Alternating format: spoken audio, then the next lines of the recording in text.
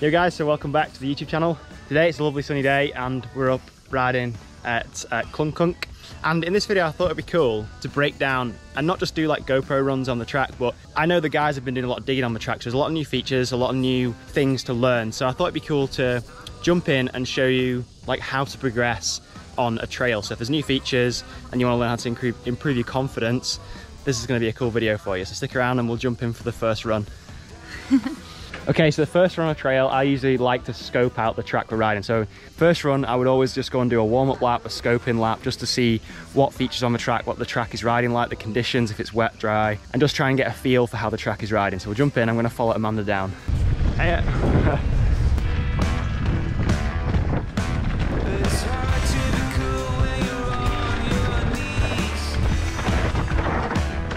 Ooh, can't view.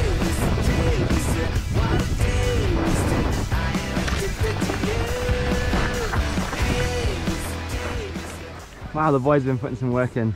So this is one of the new features the lads have been digging.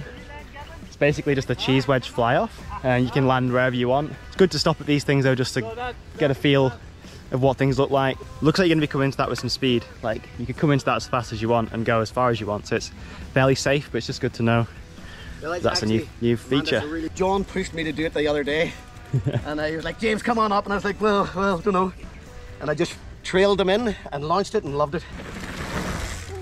Nice. Oh, he's getting the marking tape out. Oh, yeah! Smashed it! Look at that! He's got a half a bu- half a wheel's length on him. Okay, so that was run number one. We took it very easy just to figure out what the track was like. Didn't really go too fast. Just really got a feel for what the track was riding like, which is a, kind of a common mistake I see a lot of people making. Almost maybe it's out of exci excitement. You just want to get going, you want to speed up, and especially when you're riding with mates, everyone almost feeds off each other. So if one person starts going faster, everybody else seems to think that they have to go even faster, which I've had crashes in the past from when I've done that and because I've just not been warmed up and ready and I don't know the trail as well as maybe some of the other people do. So that was the first one. I usually use that as like a scoping lap. Now we're gonna go back up and we're gonna try to pick some more focus points on the track and pick up a bit of speed.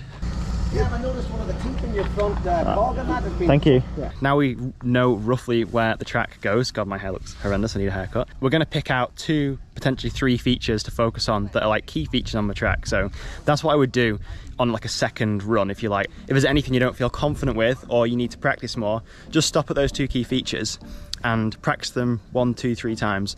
I won't go crazy on it because then you will just lose energy and you'll probably die if you did that in the heat here. It's so hot. But yeah, we'll drop into the trail and we'll go find those features. A little bit faster now. Start trying to jump a few things I know I'm confident with. We've actually ridden this track before. And here's the first little feature. So it doesn't look like much, but there's a, a fly off. You come out of a corner and then there's a little pre-hop jump thing. And then you can go as far as or as short as you want.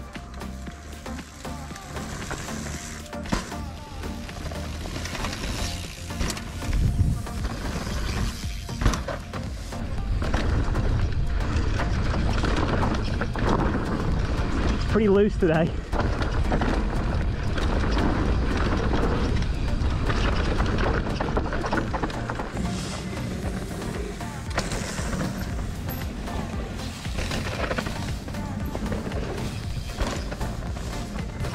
Gotta be careful, it's so loose. Oh. The ground is so dry. Go up high.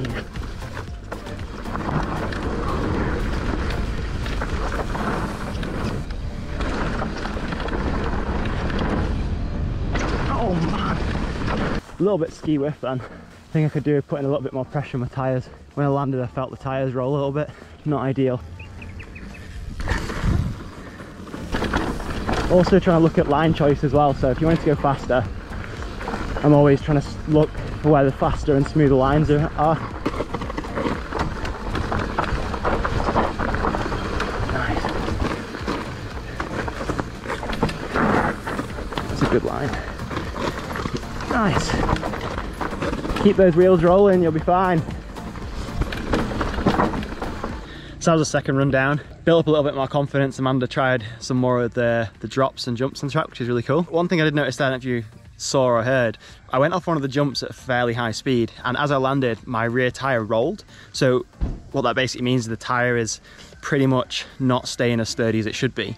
So when I landed, it almost like squirmed and I had to almost correct my body weight or body position to get back in line and back in control. So I'm gonna put a little bit more air in my rear tire and just test that out and see if that was that solves the issue. Another common mistake I see people making if they want to progress on a trail, say I'll get faster on a trail and there's something wrong with their bike or their bike's not feeling amazing, they'll tweak like a bunch of different settings at once. And then if you do that, you've no idea what change has made the improvement or if there's any improvement at all. Little tip where you're adjusting suspension or bike setup, only adjust one thing at a time and then go and retest it. I'm gonna put a little bit more pressure in your forks. So what you're saying, they were diving? Yeah. Let's just see what PSI are on here and let's see what the recommendation is. So we've only got 40 PSI in here, which is really, really low. I think that's probably gonna solve the issue of your forks diving without adjusting any of these settings because the fork is literally just going through the travel because it's not got enough pressure. How much do you weigh? Uh, like 79 kilograms. It recommends between 150 and 180 PSI. Amanda had 40 PSI in a forks. That's probably the issue. It's probably just seeped out over time. Okay. Try that on the next run. What a view. I've just snapped my chain after saying that I do I haven't done very much maintenance on my bike for the past week or so.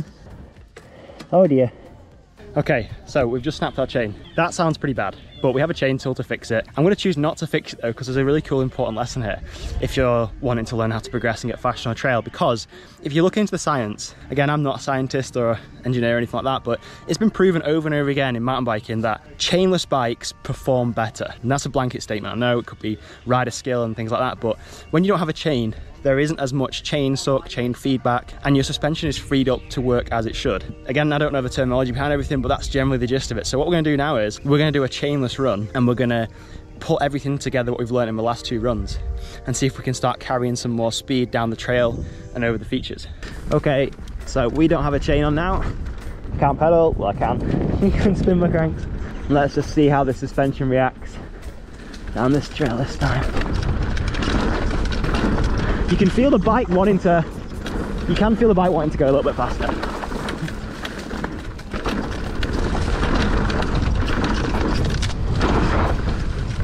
Whoa, Christ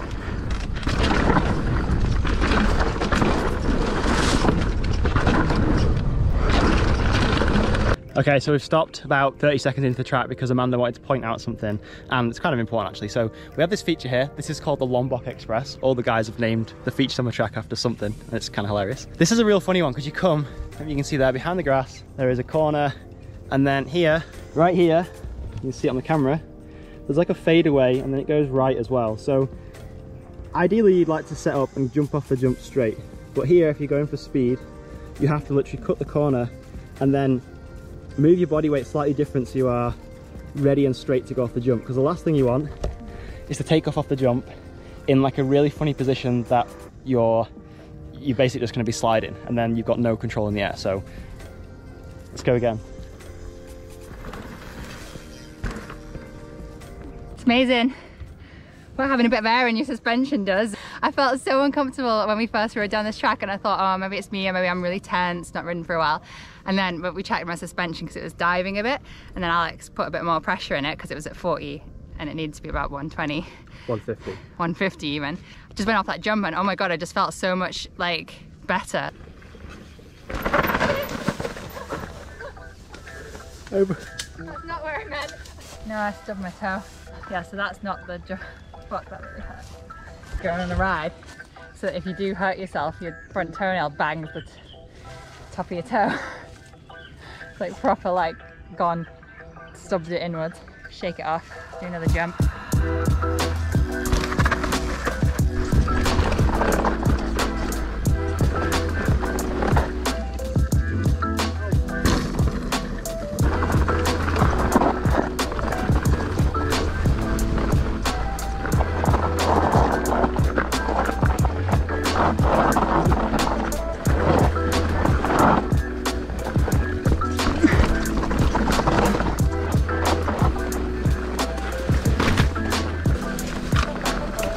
Need a Pocari sweat.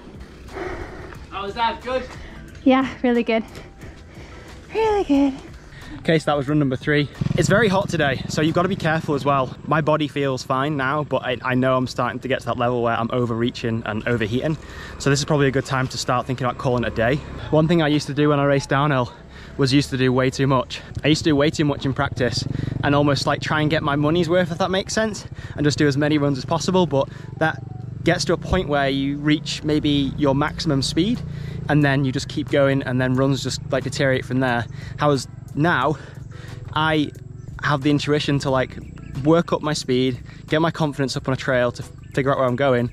I'm pretty strong on saying, right, no, that's it, I'm gonna call it now. I'm gonna go and rest because I've had some big injuries before when I've been tired, I've not been focused, I've not been on the ball, and it's the worst doing that, so don't do that. Okay, so we're on run number four now feel confident on where the track is going, how the track's riding, the conditions. What we're gonna do in this run, I'm gonna do a full run down and I'm gonna talk you down it. So talk you down kind of how I've improved different sections and try and do some like active commentary to show you what I would do in certain parts of the track. It's like 30, probably close to 35 degrees today. It's just gone midday. It's very hot and hydration is definitely key when you're riding temperatures like this. So another quick tip, make sure you're hydrated and get some electrolytes in you or something. Comment below if you've seen a more beautiful place to ride.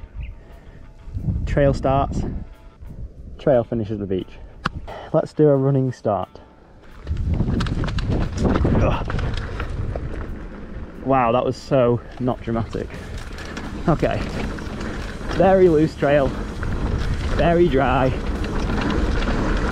hard to see out the corners because there's a lot of high grass. Little jump coming up now. Ooh.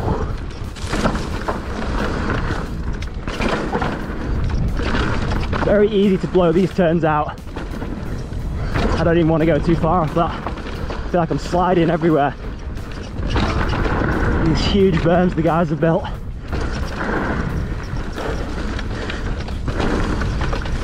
Into this off-camber section. Okay, see how good the chain, no, no chain carries me up here. Look at that. Oh, one thing I do notice though, having no chance to pedal is the cramp in my calves. Ah. Into a jump. Try and squash that and get ready for the next steeper bit of trail. Very loose. Oh. Oh. Not much support on that exit.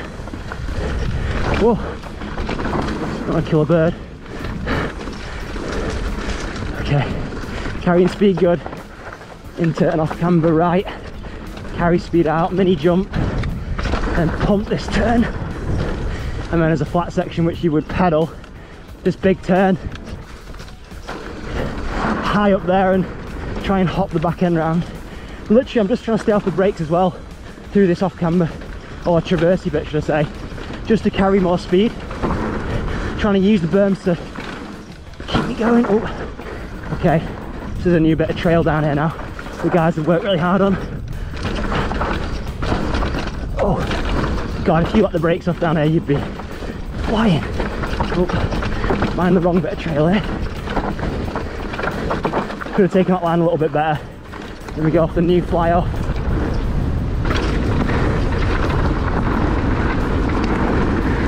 Speed tuck.